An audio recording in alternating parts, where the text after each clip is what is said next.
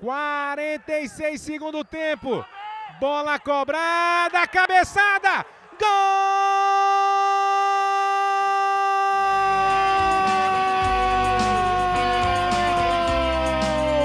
Do América!